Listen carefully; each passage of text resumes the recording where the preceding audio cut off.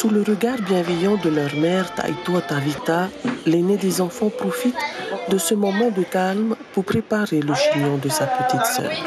À l'intérieur, Silly, au nombre des enfants, a été installé dans le salon pour accueillir leur nouvelle garde-robe ainsi que les chapeaux et accessoires offerts par les familles. C'est une dizaine, ouais. Sur deux jours Sur simplement. deux jours seulement. Et on n'est qu'à la moitié. On n'est que à la moitié. Alors, euh, la- la- là, les- la famille qui s'occupe de nous, ils nous disent qu'il faut encore, il faut retirer celui-là pour, euh, Parce que pour recevoir arriver. d'autres, voilà, d'autres qui va arriver.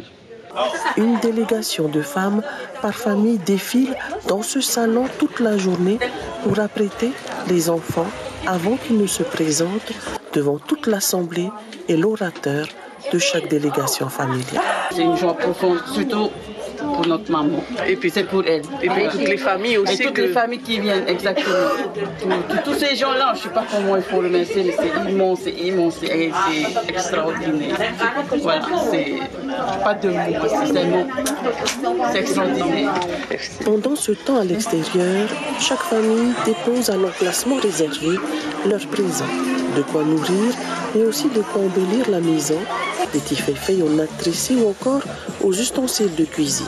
Les six enfants sont prêts, l'aîné mène le cortège au son de la musique et guidé par les membres de la famille qui présentent ces cadeaux.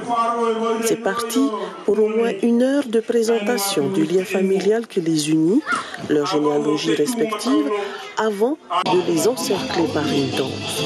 Et c'est ainsi pour les enfants du chaque jour du matin au soir, et ce, durant toute la semaine.